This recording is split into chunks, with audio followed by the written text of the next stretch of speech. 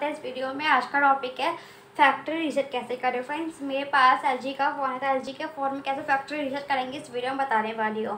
और फ्रेंड्स आप मेरे चैनल को सब्सक्राइब कर लीजिएगा और मेरे वीडियो को लाइक और शेयर कर लीजिएगा स्टार्ट करते हैं वीडियो फ्रेंड्स आपको सेटिंग को ओपन करना है। सेटिंग को ओपन करने के बाद आपको ऐसा इंटरफेस देखने को मिलता है। यहाँ पे आपको सिस्टम पे क्लिक करना है।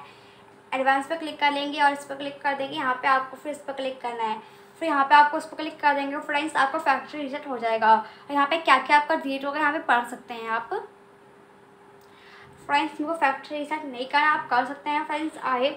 होप आपको फैक्ट्री रिसेट करना आ गया होगा तो प्लीज़ आप मेरे चैनल को सब्सक्राइब कर लीजिएगा और मेरे वीडियो को लाइक और शेयर कर लीजिएगा। फ्रेंड्स मिलते हैं नेक्स्ट वीडियो में, तब तक के लिए नमस्कार।